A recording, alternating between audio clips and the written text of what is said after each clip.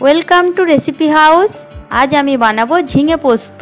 ঝিঙে পোস্ত বানাবার জন্য প্রথমে আমি একটি বড় সাইজ আলু লম্বা লম্বা করে কেটে নিয়েছি। তারই সাথে দুটি মিডিয়াম সাইজ ঝিঙে ছুলে নিয়ে লম্বা টুকরো করে কেটে নিয়েছি।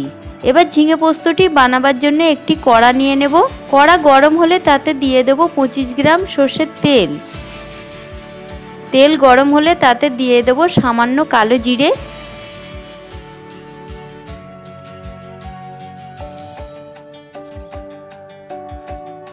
কালো জিরেগুলি হালকা ভাজা হয়ে এলে লম্বা টুকরো করে কেটে রাখা আলুগুলি দিয়ে দেব। মিডিয়াম ফ্লেমে আলুগুলিকে দু থেকে তিন মিনিট ভেজে নেব।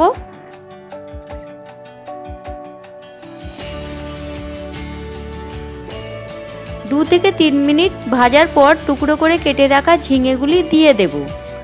ঝিঙেগুলিকেও দু থেকে তিন মিনিট আলুর সঙ্গে নেড়ে নেব।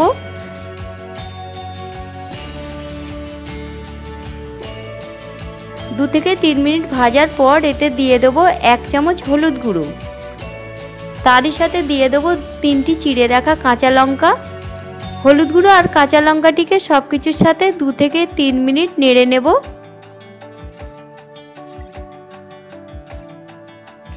দু থেকে তিন মিনিট নাড়ার পর এতে দিয়ে দেবো পঁচিশ গ্রাম পোস্ত বাটা।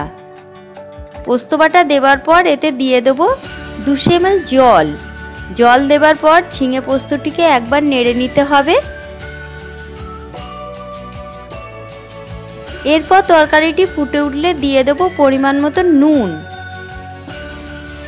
নুনটিকেও নেড়ে তরকারির সাথে মিশিয়ে নিতে হবে। এবার ঝিঙে পোস্তটিকে ঢাকা দিয়ে লো ফ্লেমে পাঁচ থেকে সাত মিনিট ফুটিয়ে নেব। পাঁচ থেকে সাত মিনিট পর ঢাকা খুলে ঝিঙে পোস্তটিকে নেড়ে নেব। দেখুন আলু আর ঝিঙেগুলি কি সুন্দর সিদ্ধ হয়ে গিয়েছে। অবশেষে ঝিঙে পোস্ত তরকারিটির উপরে ছড়িয়ে দেব কাঁচা সর্ষের তেল। তেল দেবার পর তরকারিটি আরও এক মিনিট মতন ফুটিয়ে নেব। এবার আমাদের ঝিঙে পোস্ত তরকারিটি পরিবেশনের জন্য একদম রেডি। যদি আমাদের রান্না আপনাদের ভালো লেগে থাকে তাহলে অবশ্যই লাইক এবং শেয়ার করবেন। এই রকম আরও সুস্বাদু রেসিপি পাওয়ার জন্য আমাদের চ্যানেল রেসিপি হাউসকে সাবস্ক্রাইব করতে ভুলবেন না।